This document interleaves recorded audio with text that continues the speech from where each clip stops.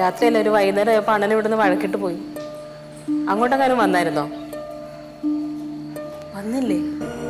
ടെൻഷനൊന്നുമില്ല. അതെ അവിടെ അച്ഛനോടും അമ്മയോടൊന്നും പറയാൻ നിൽക്കണ്ട ഒരു കാര്യം. ആ ശരി ശരി.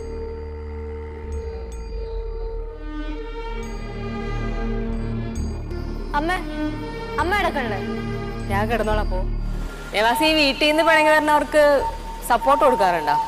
ഏ ഇല്ല. എനിക്ക് കിടക്കാൻ വേണ്ടി മെത്തയും ഫാനൊന്നും വേണ്ട. കിടത്തന്നെ കിടന്ന വാട കൊടുക്കണ്ടല്ലേ അങ്ങോട്ട്. ആര് വേണ്ടിയിരിക്കുന്നത്. വാ. ഞാൻ പോണു. എനിക്ക് ജോലിക്ക് പോയാലേ എന്റെ മക്കളെ വളർത്താൻ പറ്റുള്ളൂ. സന്തോഷായല്ലോ അപ്പോ.